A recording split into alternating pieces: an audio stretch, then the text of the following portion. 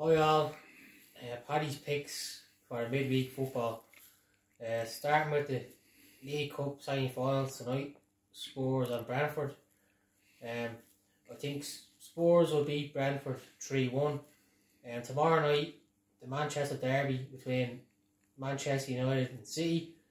Um, with United being at home, I think United will beat City 1-0.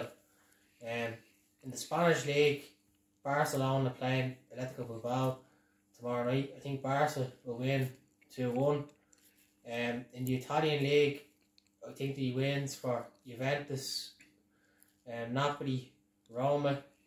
Um, in the Spanish Cup, Copa del Rey, I think the wins for uh, Atletico Madrid, Valencia, and Villarreal. And the French League, I think the wins for Lille, Lyon, Monaco.